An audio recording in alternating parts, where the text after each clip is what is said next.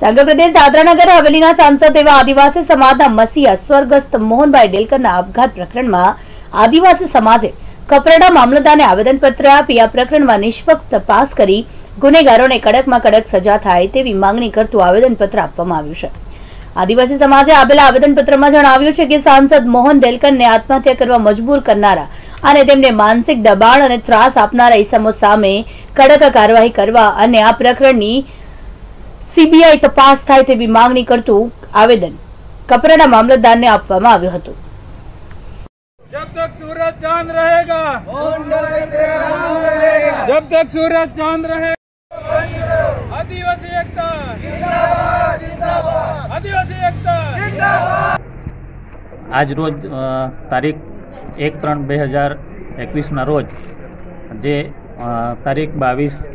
બે બે હજાર એકવીસના રોજ દાદરાનગર હવેલીના સાંસદ મોહન સ્વર્ગસ્થ મોહન ડેલકરની જે આત્મહત્યા થઈ તે બાબતે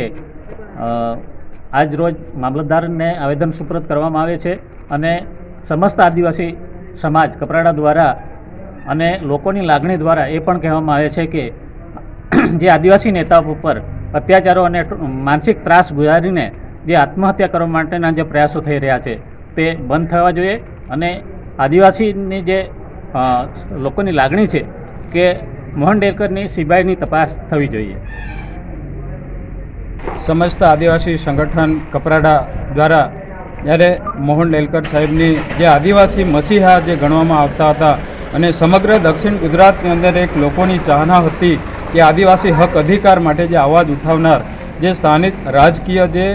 નીતિ કૂટનીતિ દ્વારા એવા તો કેટલા આદિવાસી નેતાઓ એ જ રીતે માનસિકતા ટોર્ચર આપી, ટોર્ચર આપીને એવા ઘણી બધી ઘટનાઓ વિવિધ બની રહી છે. ત્યારે આ મોહન ડેલકર સાહેબને જે સીબીઆઈ અને કાયદેકીય એને ન્યાય મળે એવી આદિવાસી સમગ્ર સમિતિ વતી એની એવી માંગ છે સરકારને. અને એવા ભવિષ્યમાં પણ રાજકીય આ કૂટનીતિના કારણે જે રાજ, આદિવાસી નેતા છે, એમને આ રીતનું માનસિકતા ટોર્ચર ના આપે એવી સમગ્ર સંગઠનના